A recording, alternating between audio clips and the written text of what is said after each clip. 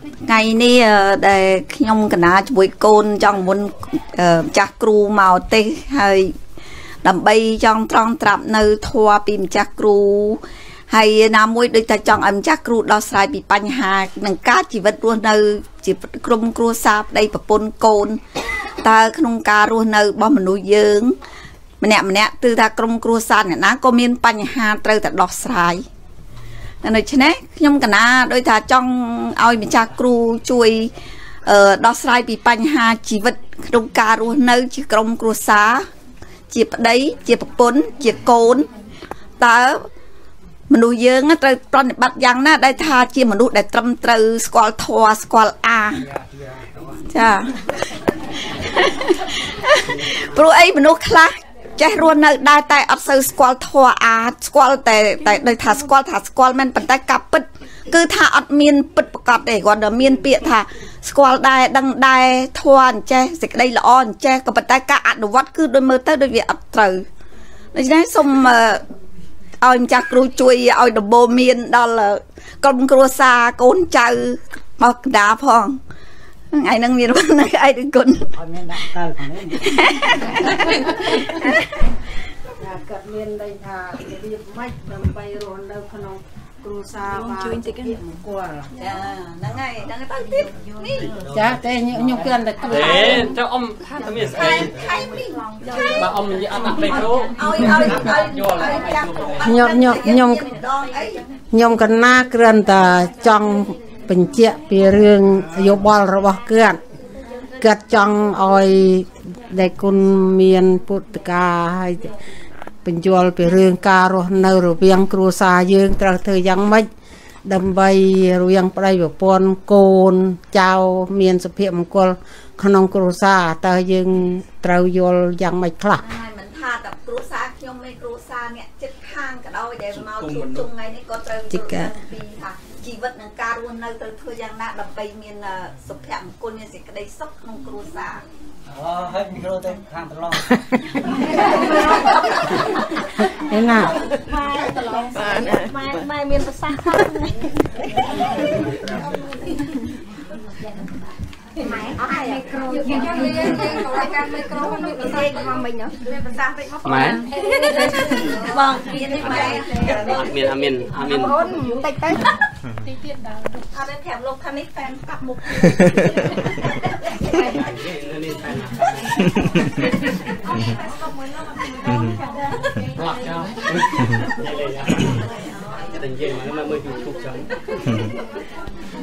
ប្រាប់លោកថានេះហ្វេនកាប់មុខនេះហ្វេនប្លាក់ចោលតែនិយាយមកមើល YouTube ចឹងបានកាប់មុខមានន័យថាគ្រប់ត្រូលយ៉ាងថាចំ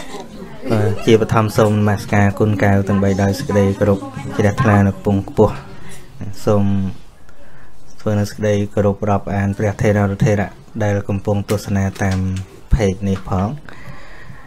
ប្រានពរញាតិញោមទាំងអស់ដែលអញ្ជើញមកក្នុងកម្មវិធីថ្ងៃនេះហើយនឹងអ្នកទស្សនាតាមเพจផង អាត្មាដាក់ចំណងជើងអត់ដាក់ចំណងជើងថាទេសនាទេដាក់ចំណងជើងថាសន្តានាធัวធម្មតាធម្មតាមានន័យថាអឺជាការសន្តានាគ្នាហើយញាតិញោមស្រួលអេយ៉ាបត់ទៅអង្គុយមិនស្រួលអង្គុយចឹងទៅហើយចុកដៃមិនបាច់សាពះទេដាក់ដៃចុះហើយបើថាបត់ជើងកើតពេលភ្នែនក៏បានដែរអត់អត់បញ្ហាអីទេបើផ្អែកនឹង ប៉ុន្តែបើអត់ឈឺទេកុំដេក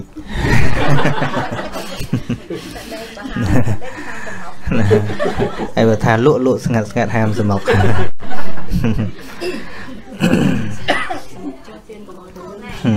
ជាពិសេសមួយនឹងអង្គុយឲ្យឆាប់អឺនឹងលើកលែងឲ្យបាទអឺបញ្ហា លើកឡើងបាញ់មិញគឺពីបញ្ហារស់នៅ ក្នុងសង្គមពាក្យថាសង្គមចាប់ពី2អ្នកឡើងទៅហៅថាសង្គមហ៎បើម្នាក់ឯងមិនហៅថាសង្គមទេពាក្យថាសង្គមវាមកពីសាំងនិងកម្មៈកម្មៈហ្នឹងប្រែថាដំណើរដល់សាំងហ្នឹងព្រមគ្នាមានន័យថាតើទៅរួមគ្នា ទៅព្រមគ្នាដំណើរធ្វើអីជាមួយគ្នាហៅថាសង្គម ចាប់ពី2នាក់ឡើងទៅហៅថាសង្គមដូចជាសង្គមគ្រួសារមែនទេសង្គមតូចសង្គមធំអី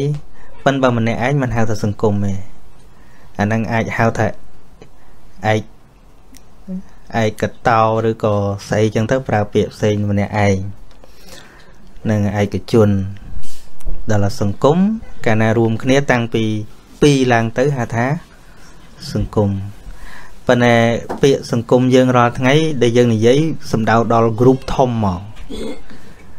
អឺធ្វើការងារដល់សង្គមគេអត់គិតទេត្រឹមគ្រួសារជួនកាលអត់គិតទេគិតទៅដល់ប្រទេសទាំងមូលសង្គមទាំងមូលនឹងបានថាសង្គមអត់ទេសង្គមតែចាប់ពី2អ្នកឡើងទៅរហូតច្រើនមិនមានកំណត់ហៅថាសង្គមហើយ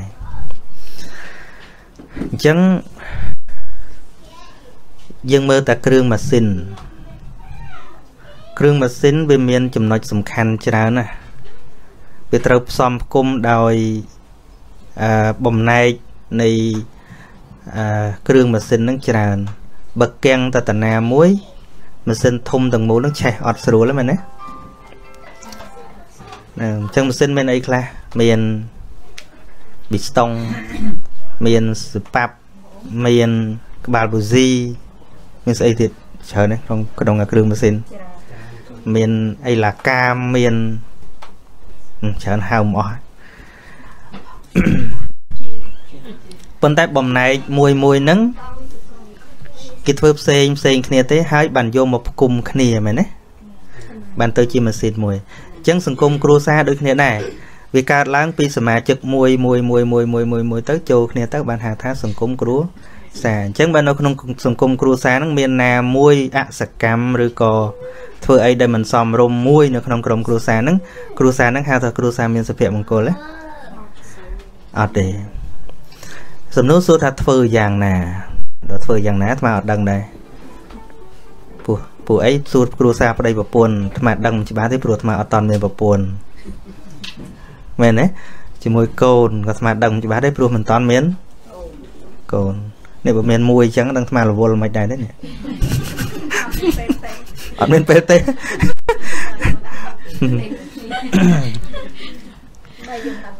អឺ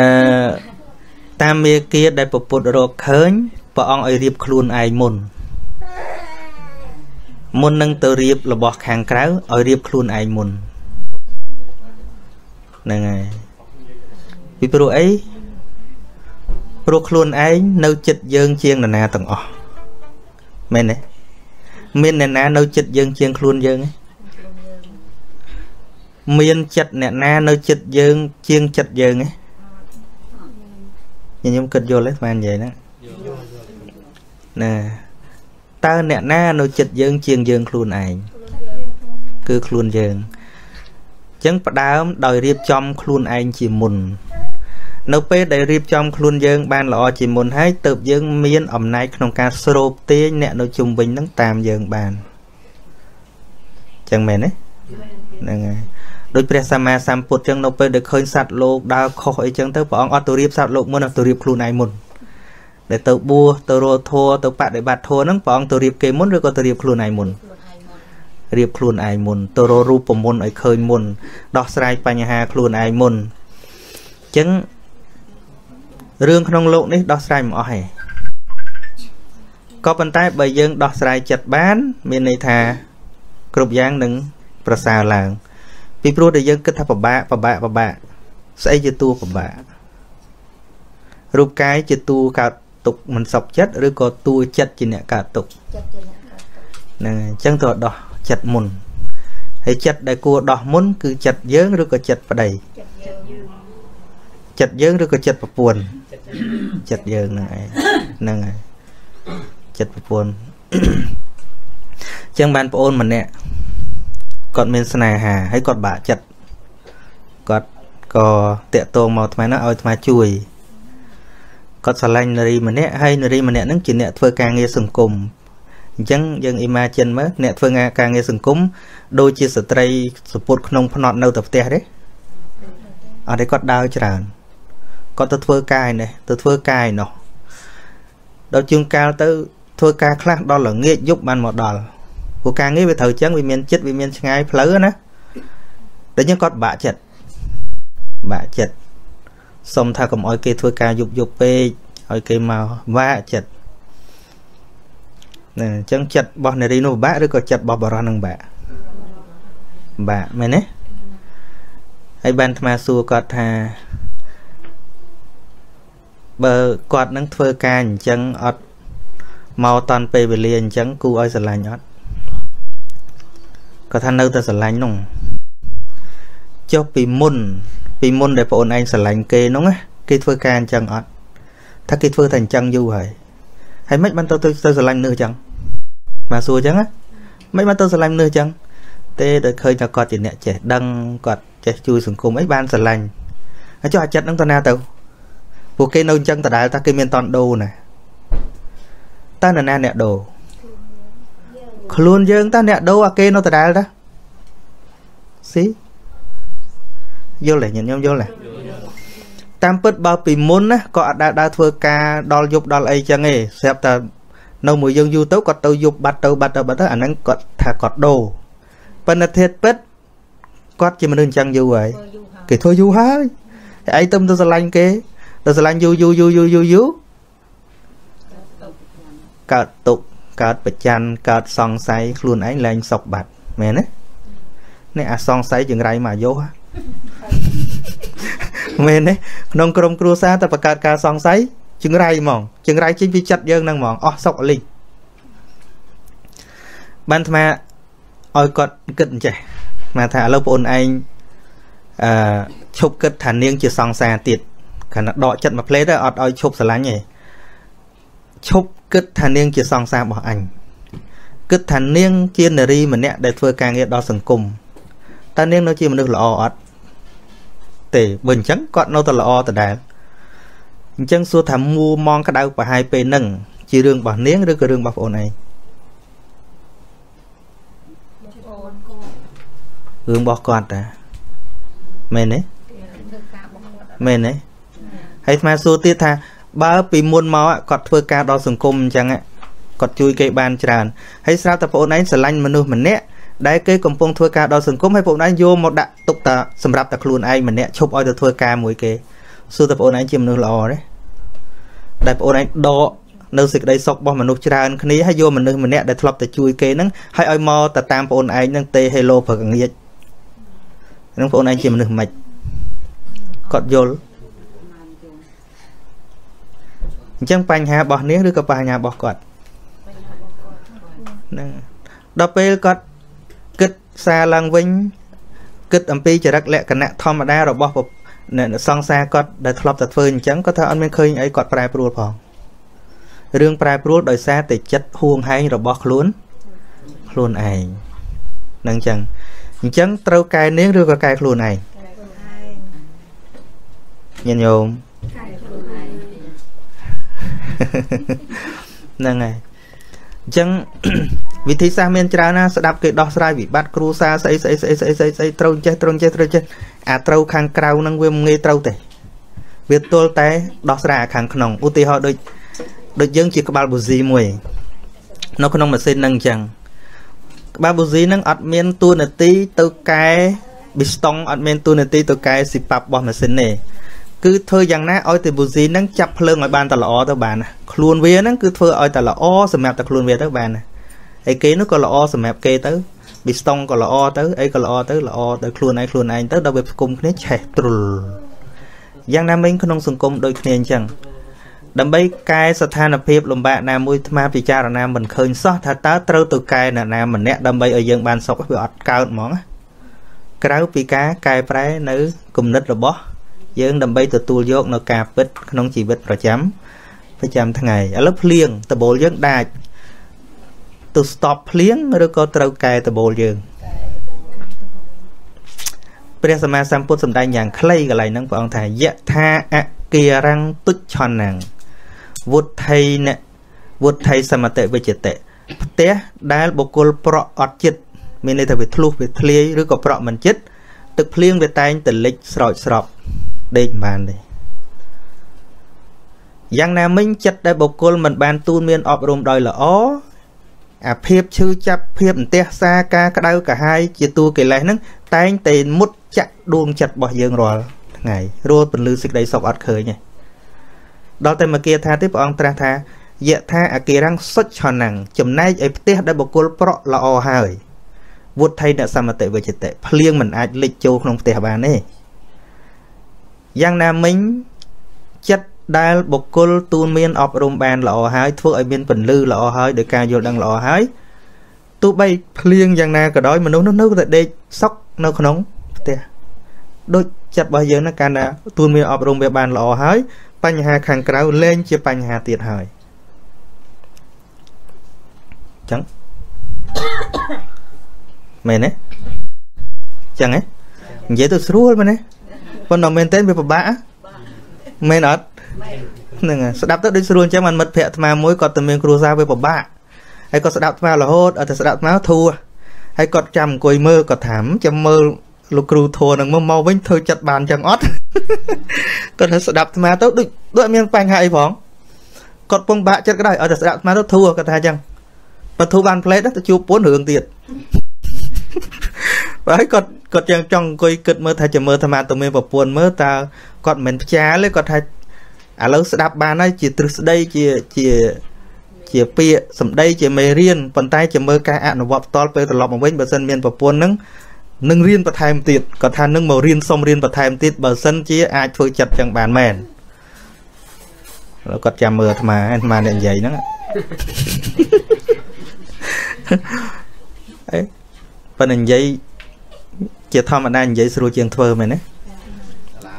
សាលាថាគឺវាងាយជាងសាលាធ្វើមែនទេហ្នឹងហើយអញ្ចឹងហើយបានជានៅក្នុងសម័យពុទ្ធកាលក៏ដោយជាងកាលជាងកាលគ្រូធัวពយល់គេទៅខ្លួនឯងអត់សម្រេចធัวឲ្យសិស្សយកទៅអនុវត្តបានជោគជ័យក៏មានដែរណាដូចអាត្មាអញ្ចឹងញាតិញោមគុំគិតថាអាត្មាខ្លាំងជួនកាលអាត្មានិយាយត្រូវមែនប៉ុន្តែសឹកទៅវិញជួបប្រពន្ធកាចស្រួលរត់ដូចគ្នា អានឹងវាលើកភាពជាក់ស្ដែងឯងប៉ុន្តែបើសិនជាយើងព្យាយាមយល់ម្ដងបន្តិចម្ដងបន្តិចឲ្យទៅជាទម្លាប់របស់យើងឲ្យទៅជាបំណែករបស់យើងអញ្ចឹងបានស្ដាប់ធម៌អាត្មាអត់ចង់ឲ្យញាតិញោមព្យាយាមចាំឯដូចញោមនិយាយអញ្ចឹងណាឲ្យព្យាយាមយល់ហេតុអីពីព្រោះការចាំញាតិញោមចាំរបស់ពីក្រៅតែយូរបន្តិចភ្លេចព្រោះមិនមែនជាញាតិញោមទេណាតែបើញាតិញោមយល់វាជា part of you អាការយល់ហ្នឹងមិនមែនបោះអាត្មាទេមិនមែនបោះពពុទ្ធទេការយល់គឺជា wisdom របស់យើង ជាបញ្ញារបស់យើង វាទល់តែចេញពីក្នុងមកដោយការយល់អត់ភ្លេចទេចាំអាចភ្លេចយល់អត់ភ្លេចយល់ហ្នឹងហើយកាលណាយើងយល់អត់ភ្លេចទេព្រោះព្រោះបញ្ញារបស់អ្នកណាដែលដែលយល់ខ្លួនឯងចាំយើងនៅជាប់ជាមួយពាក្យគេថា ចាំដូចយើងចំណាំរបស់នេះចំណាំរបស់នោះចំណាំមុខនេះចំណាំមុខនោះយូរយូរទៅអាចអលុបអាចភ្លេចព្រោះវាពាក់ព័ន្ធនឹងអារម្មណ៍ដោយយល់វាបៀលពីក្នុងមកណាបៀលពីក្នុងវិញវាជាផ្នែករបស់យើងអញ្ចឹងអត់ចេះភ្លេចទេយល់អត់ភ្លេចតែចាំភ្លេចអញ្ចឹងបានញាតញោមមិនបាច់ត្អូញទេខ្ញុំដូចអត់ចាំសោះទេអាចចាំវាគង់តែភ្លេចទេប៉ុន្តែយល់បានវាអត់ចេះភ្លេចពីព្រោះយល់វាជា part of us វាជាផ្នែករបស់យើងពីតួជីវិតរបស់យើងមានរូបកាយហើយនឹងចិត្តវិញ្ញាណតួបញ្ញាហ្នឹងតួបញ្ញាជាបញ្ញារបស់យើងកាលណាយើងយល់យើងអត់ភ្លេចហ្នឹងអញ្ចឹងអញ្ចឹងស្មានលើកសរុបមកប៉ុណ្ណឹងហើយញាតិញោមមានបញ្ហាអីលើកតទៀតបាទមានអីហ្នឹងហើយបាទតាមទៅបាទពេលហើយតើអីក៏ចេញពីចិត្តដែរគាត់ក្តាប់ចិត្តហ្នឹងគាត់ជាប់ លោកលោកមានពុតការជាប់ហើយចេញពីចិត្តខ្លួនយើងទេបើចិត្តខ្លួនយើងអត់មានមានផងធ្វើមិនការមានមានការអត់បាក់ឈប់ឈប់អមឈប់ឈប់សិនខំវាស្ដាប់តាម page គេស្ដាប់អមអែមបានតាមអែមនឹងសួរអីអឺខ្ញុំកណាមានមានន័យថាសុំតែគុណជួយពយល់ពីរឿងការរស់នៅរបៀបថា ប្តីប្រពន្ធយើងត្រូវតែយោគយល់ចិត្តគ្នាទៅវិញទៅមកតើប្តីនឹងចូលចិត្តយ៉ាងម៉េចហើយប្រពន្ធចូលចិត្តយ៉ាងម៉េចរឿងរឿងប្តីប្រពន្ធថាចង់កាប់ញោមវិញចាស់ចឹងមានបទពិសោធន៍ច្រើនហើយទីហោមកញោមញោមឲ្យបអត់អត់ទីហោថាប្រពន្ធពិបាកឈឺឧទាហរណ៍ណាប្តីត្រូវយល់ថាអូប្រពន្ធអញអាត្មាអញឈឺពិបាក ដូច្នេះអាត្មាអញនេះត្រូវគួរធ្វើអីដើម្បីនឹងសម្រួលដល់ប្រពន្ធឲ្យស្រួលហើយដល់ប្តីឈឺប្រពន្ធត្រូវគួរដឹងថាអូប្តីអញឈឺប្តីអញមិនអាចធ្វើអីបាន យើងត្រូវយោគយល់មើលគ្នាទៅវិញទៅមកដោយចិត្តស្មោះត្រង់អាហ្នឹងបានតែគេហៅថាប្តីប្រពន្ធហ្នឹងអាចរស់នៅជាមួយគ្នាដល់យូរអង្វែងបាន គេដោយសុភាសិតថាស្គាល់គ្នាទឿនគ្រាក្របើសិនយើងពេលគេឈឺយើងអត់មើលគេតើយើងឈឺវិញគេអត់មើលទៅតាំងតាំងប្រពន្ធអញមើលអញចុងកាលតែគេឈឺមិនគេយើងមិនមើលគេណាដូចយើងយើងឃើញគេក្រយើងជួយគេតែយើងក្រវិញគេនឹងជួយយើងវិញប្រហែលបើមិនអ្នកនោះមិនជួយក៏អ្នកផ្សេងជួយដែរខ្ញុំកណាយល់ថាអញ្ចឹង ហើយប្តីប្រពន្ធដែលរស់នៅបើមិនចេះស្គាល់លក្ខណៈកលែងទៅនឹងគឺរស់នៅជាមួយគ្នាមិនបានយូរអង្វែងទេកូនក៏ដោយ បើយើងមិនស្គាល់អ្វីដែលកូនហ្នឹងគឺវាល្ងងយើង ជាមេដាបេតា គឺចេះជាងវាយើងត្រូវរកកលឹះវាថាអូអានេះហាញចេញកលឹះនេះអញឆ្លាតជាងហាញអញរកកលឹះបង្ក្រាបអញបានដោយកលបិច យ៉ាងណាដោយឧបាយដោយវិធីសាស្ត្រចាដោយវិធីសាស្ត្រអត់ទាហរណ៍ដោយខ្ញុំកណាចៅខ្ញុំកណាខ្ញុំខ្ញុំខ្ញុំស្អប់ម៉ែឯងណាខ្ញុំកណាថាអូខេអូខេបើយើងស្អប់ម៉ាចាយស្អប់ម៉ាអូខេម៉ាស្អប់ចៅឯងវិញមកយើងតាកដៃគ្នាស្អប់គ្នាទៅវិញទៅមក ស្ដាប់ស្អប់អីស្អប់ស្អប់គ្នាទៅវិញមកមើលយើងតាកដៃគ្នាតាតាតាចុះចាប់ពីថ្ងៃនេះទៅចៅឯងជួយមកមកថាមកអត់ដឹងអញស្អប់ឯងចៅឯងថាត្រូវការលុយទេមកស្អប់ចៅឯងអញអត់ទួលដឹងឥឡូវស្អប់ក៏អត់ទេអត់ស្អប់មកឯងទេចុះមិនស្អប់ទៅថាស្អប់មកឯងខាត អានឹងគឺជាកលឹះខ្ញុំក៏ណាឆ្លួនចៅរងឯងចឹងឯងណាអត់ខន្តីទេ យើងម៉ែឪមាន ប្រើល្បិចច្រើន ជាងកូន វាល្ងងជាងយើងបើយើងល្ងងជាងវា គឺវាយើងវាចិនក្បាលយើងបានយើងត្រូវប្រើល្បិចតែគុណត្រូវប្រើល្បិចនេះមានអ្នកម៉ែឪខ្លះល្ងងដែរណាមីចា មានម៉ែឪខ្លះក៏ល្ងងដែរណាល្ងងកូនចិនហើយ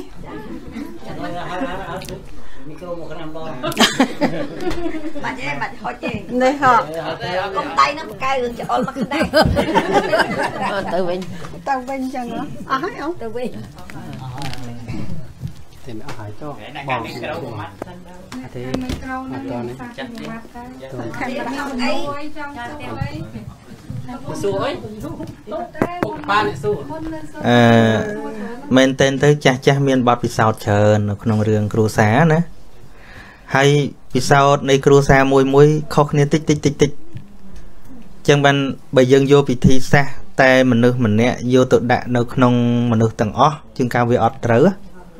ហ្នឹងអត់ត្រូវទេព្រោះមនុស្សខ្លះចូលចិត្តស៊ីក្តៅមនុស្សខ្លះចូលចិត្តស៊ីត្រជាក់មែនទេខុសខុសគ្នា អញ្ចឹងបានពពុទ្ធព្រះអង្គឲ្យយើងប្រើបញ្ញានឹងឯងឧទាហរណ៍ដូចនិយាយចុះជាធម្មតា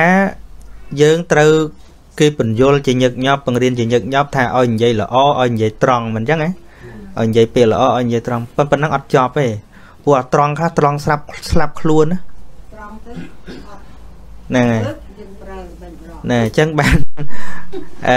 នៅក្នុងវាចាហ្នឹងព្រះអង្គត្រាស់ថាមាន5វាចាល្អដែលចាត់ថាជាមធុវាចាមធុវាចាមានន័យថាវាចាទឹកខ្មុំផ្អែមប្រហែមល្អឬក៏ពុបភភាន័យសម្ដីផ្កា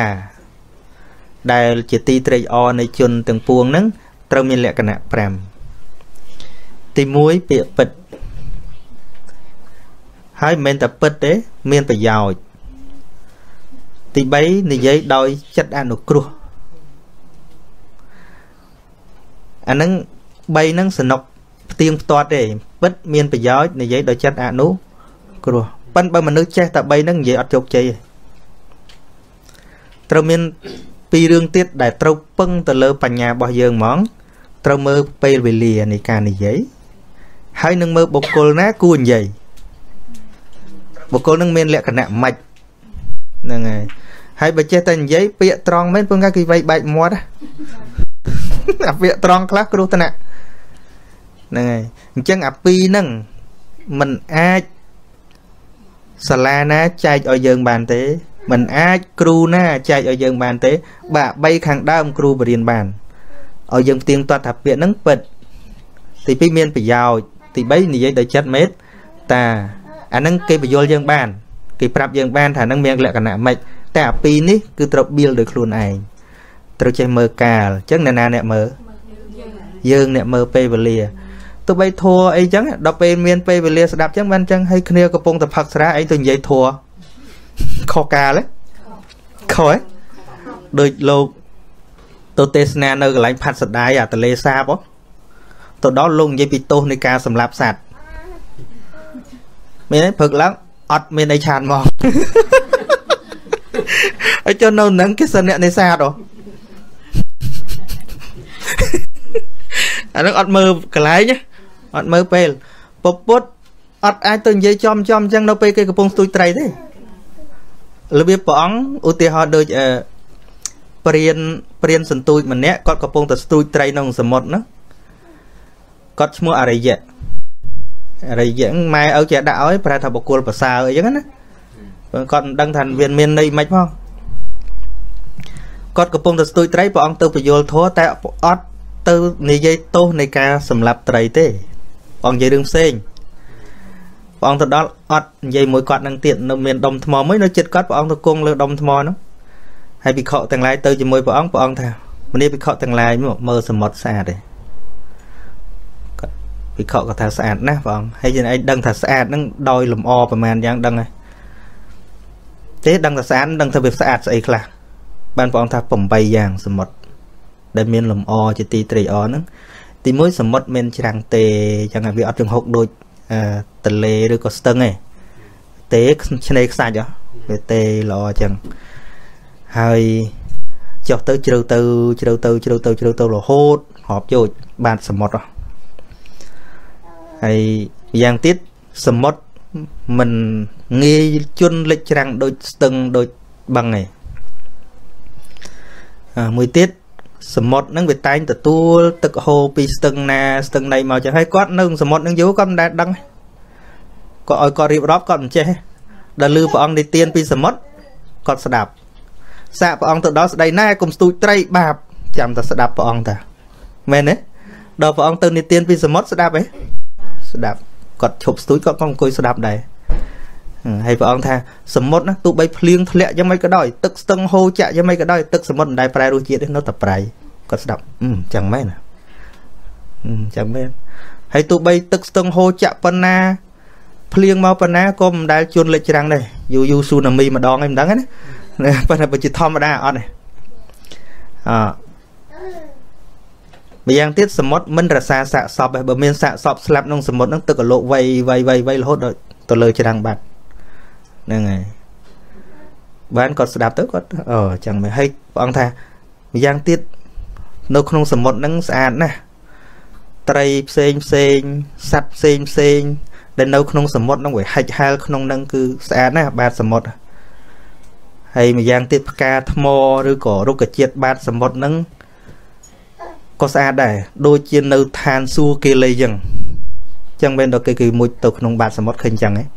ឃើញផ្កាថ្មស្អាតណាស់នឹងរតនវត្ថុអីផ្សេងផ្សេងគាត់ថាអូអញ្ចឹងឯងមិនដែលដឹងចឹងអង្គុយស្ដាប់អង្គុយស្ដាប់អង្គុយស្ដាប់បានព្រះអង្គទាញមកវិញព្រះអង្គថាមនីភិក្ខុទាំងឡាយចំណែកនៅក្នុងធម្មវិន័យនេះមានន័យថាក្នុងពុទ្ធសាសនានេះក៏មានលំអ8យ៉ាងដូចទៅសមុទ្រចឹងដែរ ធម៌របស់តថាគតនឹងវាមានលំដាប់លំដោយចឹងមានអនុពពីកថានិយាយតាំងពីទានពីសិលធម្មតារហូតទៅជ្រៅទៅជ្រៅទៅជ្រៅទៅជ្រៅទៅជ្រៅទៅជ្រៅទៅរហូតទៅដល់សច្ចធម៌ជាបាតនៃធម្មវិន័យនឹងឃើញទេជាការសម្ដែងថាអ្នកមានបញ្ញាទុនខ្សោយយ៉ាងម៉េចក៏ដោយឲ្យតែដាក់ចិត្តចុះដាក់មាននេះចុះគង់តែស្ដាប់យល់ឯងឲ្យតែព្យាយាមស្ដាប់ម្ដងបន្តិចម្ដងបន្តិចម្ដងបន្តិចម្ដងបន្តិចយូរយូរយូរយូរទៅ គង់តែយល់ច្បាស់បាទប្រៀបដូចជាមហាសមុទ្រនឹងអញ្ចឹងវាមានច្រាំងទេទោះបីមនុស្សចាស់ក៏ដើរចុះរួច មនុស្សពិការក៏អាចដើរចុះរួចពីព្រោះវាទេវាទេល្អអញ្ចឹងបានថាការមកសិក្សានៅសាសនាព្រហ្មចរិយធម៌នេះវាមិនចាំបាច់ថាត្រូវឆ្លាតខ្លាំងឬក៏ល្ងងមិនអាចរៀនបានទេអត់ទេអានឹងយើងថាខ្លួនឯងឯង សំខាន់ថាតែយើងដឹងខ្លួនយើងថាមានលក្ខណៈបែបម៉េចយើងត្រូវរៀនបែបម៉េចឲ្យតែយើងដឹងថាធម្មវិន័យនឹងមានលក្ខណៈបែបណាយើងដឹងវិធីចុះទៅកាន់សច្ចធម៌តាមស្រួលណាអម្យ៉ាងទៀតព្រះអង្គថាសមុទ្រភ្លៀងធ្លាក់យ៉ាងម៉េចទឹកហូរចាក់យ៉ាងម៉េចក៏មិនដែលពេញដូចគ្នានៅក្នុងធម្មវិន័យនេះទទួលបានទាំងអស់មនុស្សមកពីណាក៏ដោយប្រមាណក៏ដោយចំនួនប៉ុណ្ណាក៏ដោយនៅក្នុងធម្មវិន័យនេះមិនចេះពេញទេ មិនដូចអូស្ត្រាលីទេអូស្ត្រាលីមានកំណត់ស្រួលមិនអោយវីសាទេមែនទេមិនអោយសញ្ជាតិទេមែនទេបើព្រះអង្គអូខេណាមកបួសក៏បានដែរហ្នឹងហើយជនជាតិណាមកបួសក៏បានដែរហៅថាជា Pico National នឹង Pico Nationality អូស្ត្រាលីมันអាចมันអាចបង្កើត សញ្ជាតិនៅទូទាំងពិភពលោកបានដែរប៉ុន្តែធម្មវិន័យនេះអាចបានអាមេរិកកាំងក៏ដោយតបួសហៅពិខុថៃក៏ដោយតបួសហៅពិខុភូមាក៏ដោយតបួសឲ្យសញ្ជាតិពិខុមួយពឹបមែនទេដូចគ្នាទាំងអស់អឺម្យ៉ាងទៀតដែលថាទឹកហូរចាក់យ៉ាងម៉េចយ៉ាងម៉ាក៏សមុទ្រមិនចេះប្រែរសជាតិនៅតែប្រៃដូចគ្នានៅក្នុងធម្មវិន័យនេះសច្ចធម៌នៅតែពិតដដែលទោះបីពេលវេលាកន្លងទៅយ៉ាងណាក៏ដោយសច្ចធម៌នៅតែពិតទុក សច្ចៈនៅតែពិតហេតុដែលនាំឲ្យកើតទុកនៅតែពិតឃើញទេអត់ចេះប្រែប្រួលទេគាត់ស្ដាប់ជក់ទៅជក់ទៅជក់ទៅជក់ទៅរហូតដល់ចប់ថ្មមិននិយាយចប់ទេគ្រាន់តែចង់និយាយថាស្គាល់កាលស្គាល់បុគ្គលលក្ខណៈស្មើគ្រាន់តែលើកឧទាហរណ៍អញ្ចឹងអញ្ចឹងបានដូចពាក្យមួយដែលចាស់បុរាណយើងនិយាយថាផ្លូវវាចកុំបោះបង់ផ្លូវត្រង់កុំដើរហងដែលលឺឯពេលហ្នឹងណាផ្លូវវាចកុំបោះបង់វាចមិនមែនវាចវេកលិចកលុចទេមានន័យថាវៀងតំណឹងឯងប៉ុន្តែ វៀងតិចទៅមើលទេសភាពទៅតែបើអាត្រង់នេះជួនកាលវាជ្រោះវាកលុកវាមានន័យទៅទៅវាគ្រោះថ្នាក់ដូចនិយាយណែនាំមនុស្សចឹងជួនកាលត្រង់ពេកគេទទួលអត់បានរឿងដល់ខ្លួនឯងហើយដល់ព្រះអង្គពេលហ្នឹងព្រះអង្គអត់និយាយរឿងឲ្យគាត់ឈប់ស្ទូចទេនិយាយពីលំអរហូតដល់គាត់យល់សច្ចធម៌ទៅគាត់បោះស្ទូចចោលដោយខ្លួនដោយខ្លួនឯងឃើញទេព្រះអង្គប្រកែណាណានឹងវិធីសាស្ត្រព្រះអង្គចឹង ច្រើនណាស់មានពេលខ្លះរឿងគួស្ដីព្រះអង្គអត់ស្ដីទេដូចគ្នាក្នុងគ្រួក្រុមគ្រួសារស្មានថាអាចយកមកអាប់ឡាយបានដូចជារឿងមួយពិខមួយអង្គឆ្លោះគ្នាជាមួយចៅយាយវិសាខាចៅយាយវិសាខាពេញកំមុំហើយទៅឆ្លោះមើលក្នុងទឹកពីងអញ្ចឹងហើយអាញឹមដាក់ពីងយ៉ាជឿមនុស្សស្រឡាញ់មុខ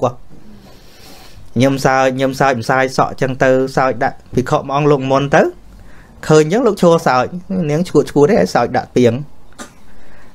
នាងងើបមកវិញឃើញលោកសើចឲ្យអញ្ចឹងជេរលោកហ្មងវាលោកដាច់ក្បាលនេះមកសើចស្អីហ្នឹងលោកនោះកិលេសនៅពេញកលៀនខឹងដែរបលយោមកជេរឯងនាងឯងហ្នឹងដាច់ក្បាលម៉ែនឹងឯងហ្នឹងដាច់ក្បាលយាយនឹងឯងហ្នឹងក៏ដាច់ក្បាលដែរលោកជេរវិញមានអន់នេះនឹងជេរអត់ឈ្នះលោកខឹងយំធាក់ដីហ៎ណាដល់ចឹងទៅទៅប្តឹងដល់យាយវិសាខាជាយាយរបស់នាងហ្នឹង យាយវិសាខាមកដោះស្រាយលោកយាយវិសាខាប្រើឧបាយដូចញោមថាអញ្ចឹងណាប្រើឧបាយអឺលោកម្ចាស់អឺចៅខ្ញុំកណាថាលោកម្ចាស់ដាច់ក្បាលហ្នឹងវាគណជាពាក្យនិយាយទេប៉ុន្តែធាតពិតចង់សំដៅថាលោកម្ចាស់មកបួសហ្នឹងវាត្រូវកាត់អស់ដូចជាកសក់ហ្នឹងក៏កាត់អស់ដាច់អស់កញ្ចក់ហ្នឹងក៏វាដាច់អស់កាត់ក្បាលមានន័យអញ្ចឹងលោកថាទេអត់ទេអាត្មាលឺច្បាស់លឺក្បាលមិនមែនលឺកញ្ចក់មិនមែនលឺសក់បំបាច់មក ដោះស្រាយស្អីទេហ្នឹងក្បាលផ្សេងកញ្ចក់ផ្សេងកុំមកកាន់ជើងចៅឆ្លោះមកយាយភាសាខាទៀតដល់អញ្ចឹងឧបជាលោកហ្នឹងលឺទៅដល់សួរដឹងរឿងស្ដីឲ្យហ្មង លោកឯងនេះផ្ដេសផ្ដាស់ភ្លើភ្លើទៅឆ្លោះជាមួយក្មេងអ្នកស្រុកក្បួនឯងបួសក្បាលតងល់មិនចេះគិតស្ដីឲ្យអញ្ចឹងដល់ស្ដីឲ្យអញ្ចឹងលោកនោះអត់អត់ស្ដាប់ឧបជានឹងកាន់ជើងយាយវិសាខាពុលបាយយាយវិសាខាកាន់ជើងគេអាកូនសិស្សអីអត់ព្រមគ្រប់គ្រងឃើញទេខឹងហ៎ ខឹងចឹងអត់ស្ដាប់បកិច្ចនងណាងពេញនឹងឯងចឹងមកនឹងផ្លូវត្រង់ឃើញឃើញពិខុនឹងលោកប្រើផ្លូវត្រង់ឯងត្រង់ពេកត្រង់ភ្លឹងអត់ឧបាយនឹងវិធីសាស្ត្រខ្លះត្រង់ភ្លឹងអត់កើតទេក៏រឿងរ៉ាវជ្រាបដល់ព្រះសម្មាសម្ពុទ្ធព្រះអង្គនិមន្តមកព្រះអង្គសួរសពគ្រប់ចឹងទៅព្រះអង្គឥឡូវតបឲ្យស្អំ តែលឺពាក្យហ្នឹងហ្នឹងព្រះអង្គថាមនាលវិសាខាហើយមកហើយចុះមិនក៏នាំគ្នាបៀតបៀនកូនតថាគតអញ្ចឹងព្រោះព្រះអង្គជ្រាបដឹងថាវិសាខាអត់ខឹងព្រះអង្គទេពីព្រោះវិសាខាយល់ធម៌ច្បាស់ហើយជារិយបុគ្គលណាហ្នឹងហើយបខពិខនេះកិលេសពេញខ្លួនដល់ព្រះអង្គថាអញ្ចឹងព្រះអង្គថាមនាលវិសាខា ហេតុអីបានជានាងបៀតបៀនកូនតថាគតអញ្ចឹងឯនោះគេរត់មកថ្វាយបង្គំព្រះអង្គបបពុតព្រះអង្គដល់ចម្រើនហើយមានតែព្រះអង្គទៅយល់ចិត្តទូបង្គំនឹងគេបានទីពឹងគេណាហ្នឹងចឹងមានមានណាកាន់ជើងលោកដល់ព្រះអង្គថាអញ្ចឹងទៅគេរត់មករកព្រះអង្គបានព្រះអង្គបែរមកវិញមនាលភិក្ខុបុគ្គលមិនឈ្មោះថាប្រសើរដោយប្រព្រឹត្តធម៌ថោកទាបឡើយអាហ្នឹងនៅក្នុងតបងរបស់ព្រះអង្គវិញឃើញទេ ដាក់ណាបុគ្គលប្រសើរព្រោះមានធម៌ប្រសើរនៅក្នុងខ្លួនបុគ្គលមិនឈ្មោះថាប្រសើរព្រោះប្រព្រឹត្តធម៌ថោកទាបទេ បានព្រះអង្គត្រាស់នៅគាថាមួយថាហៃណាំងធម្មំណសេវយៈបុគ្គលមិនគួរសែបគប់ធัวថោកទាបអាធัวប្រមាថជេរមើងងាយធัวថោកទាបឬក៏ធัวប្រសើរថោកទាបតាហ្នឹងណាពេលខ្លះយើងជេរគេថាអាថោកទាប អាត្មាលឺច្រើនណាស់ពាក្យហ្នឹងក៏ប៉ុន្តែខ្លួនឯងកំពុងតែថោកទាបស្អីជាធัวថោកទាបអាខឹងគេអាប្រមាថគេហ្នឹងធัวថោកទាបតាអកុសលធัวជាហីណាធម្មធម្មាអកុសលធម៌ណាគណៈចិត្តមើងងាយគេគណៈចិត្តជន់ឆ្លីគេគណៈចិត្តស្អប់គេហីណាធម្មាឃើញទេប៉ិនច្រឡំពីស្មាខ្លួនឯងថ្លៃធ្នូអាថោកទៀបអាថោកស្មាឃើញច្រើនក្នុង Facebook តែជេអាថោកប៉ិនសួរខ្លួនឯងថ្លៃអាពេលហ្នឹងចិត្តនឹងមានមេត្តាអត់ចិត្តនឹងមានករណាអត់បើចិត្តមានមេត្តាករណាទៅជាធัวថ្លៃធ្នូទៅជាបុគ្គលថ្លៃធ្នូមិនអញ្ចឹងណាចុះបើចិត្តកំពុងខឹងកំពុងតែបៀតបៀនកំពុងតែផ្ដន់ទាគេថោកទាបឬក៏ថ្លៃធ្នូថោកទាបប៉ិនច្រឡំហើយក៏ជេរគេថាថោកទាបមនុស្សថ្លៃធ្នូជេរគេថាថោកមិនកើតទេហ្នឹងហើយ ហើយនឹងធម្មងនសីវយៈគេណាបុគ្គលមិនគួរខ្សែគប់ធោថោកទៀតអញ្ចឹងត្រូវយល់ថាស្អីជាធោថោកទៀតគឺអកុសលណាហើយនឹងធម្មងនសីវយៈបមាទេអ្នកអ្នកសង្វសេមិនកបបីខ្សែគប់ធោបមាទៀតអាធោធ្វេសប្រហែសអត់មានស្មារតីអត់មានសតិសម្បជញ្ញៈហៅថាធោថោធោធោបមាអាហ្នឹងហើយនឹងធម្មងនសីវយៈបមាទេអ្នកអ្នកសង្វសេ មិច្ឆាទិដ្ឋឹងនសេវយៈហើយមិនគប្បីគប់រោគនៅមិច្ឆាទិដ្ឋទិដ្ឋិទេការយល់ខុសអ្នកចុងក្រោយបំផុតនេះដែលពាក្យវ័យលោកនឹងខ្លាំងជាងគេថាអ្នកសយាលោកវត្តណោមិនគប្បីកើតមកជាមនុស្សស្ដុកលោក មានន័យថាកុំកើតមកខណៈគេរាប់ធ្វើមនុស្សម្នាក់ដែរណាឧទាហរណ៍ថាមនុស្សខ្វះម្នាក់ហ្នឹងវាគ្រប់មួយលានយើងកើតមកខណៈប្រគ្រប់គេ វាអត់ប្រយោជន៍សោះហ្មងមនុស្សហ្នឹងគាត់តែកើតមកប្រគ្រប់គេណាប្រគ្រប់ឲ្យតែគេរាប់ជាមនុស្សម្នាក់ដែរវាអត់ប្រយោជន៍សោះកុំកើតមកអញ្ចឹងលោកស្ដាប់ទៅ ដឹងខ្លួនឯងក៏ថ្វាយអង្គមព្រះសម្មាសម្ពុទ្ធសុំកម្មាទោសហើយក៏សុំទោសឧបជាអីទៅឃើញទេចឹងព្រះអង្គប្រើផ្លូវកាត់ឬក៏ប្រើឧបាយប្រើឧបាយប៉ិនកុហកទេអត់កុហកទេយើងគុំច្រឡំពាក្យខ្មែរថា ផ្លូវវាកំបោះបងផ្លូវត្រង់កំដៅហងលេងលេងនាំគ្នាកុហកមែនទេភ្លេចថាផ្លូវត្រង់កំដៅហងហើយកុំអោយអឺលះបង់អាផ្លូវវាចហ្នឹងមិនមែនវីកវេកុហកបោកប្រាស់មែនទេ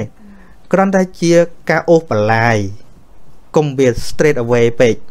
អូបលាយប្រើវិធីសាស្ត្រប្រើឧបឧបាយចឹងឯងចឹងប្តីប្រពន្ធអីចឹងដែរចង់ចង់ប្រើប៉ុន្តែគាត់ម្នាក់ចេះប្រើប្តី ប្តីនឹងស្មោះត្រង់ប៉ុន្តែប្តីស្មោះត្រង់មកពីប្រពន្ធដែរហ្នឹងជួនកាលគាត់ទៅធ្វើការនៅពេញផ្ទះគាត់នៅដូចនៅពោធិ៍សាត់ឯងហើយដើរជាមួយញោមម្នាក់ដែលគាត់ធ្វើការមួយអាត្មាដែរគាត់ដឹងថាគាត់នឹងអត់ដែរប្រទេសផ្ដាស់រឿងស្រីញីអត់ទេសំបីតែឈឺអីចឹងទៅ មានតែប្រពន្ធដេញឲ្យទៅទៅអាកន្លែងម៉ាស្សាឲ្យគេកោសខ្យល់ឲ្យទៀតបងឯងកុំទ្រាំឈឺឲ្យគេកោសខ្យល់ឲ្យទៅអីអីចឹងណា គាត់មិនហ៊ានទាំងចូលទៀតអត់ចង់ចូលបើប្រពន្ធជាតឿនដល់គាត់ចង់ដឹងថាហេតុអីបានជាគាត់ជាមនុស្សល្អម៉េះដល់ទៅមើលប្រពន្ធគឺជាមនុស្សចេះប្រើប្តីប្រុសប្រុសឲ្យទំនឹកឲ្យប្រពន្ធចេះប្រើធ្វើការទៅងាប់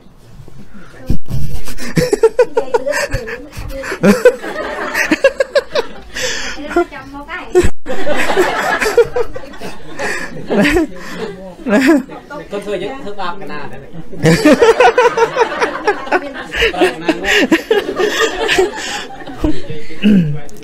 អឺនៅពេលគាត់ចង់ប្រើប្តីឲ្យដួសទឹកមកអញ្ចឹងណាតែគាត់មិនប្រើពាក្យថាបងឯងដួសទឹកមកផងអត់ប្រើ straight away អញ្ចឹងឯងបងតងូតទឹកចាំមកញ៉ាំបាយបើតងូតទឹកយកធុងទៅផង គាត់អត់គាត់អត់ប្រើឲ្យទៅដងទឹកទៅរែកទឹកទេគាត់ប្រើពាក្យល្អមុនគណាបងតើបញ្ញាប់ទៅងូតទឹកឯងអាមកញ៉ាំបាយខ្ញុំរៀបហើយប៉ិនទៅងូតទឹកយកធុងទៅផងឆ្លាតទេតាមពុតប្រើរែកទឹកហ្នឹង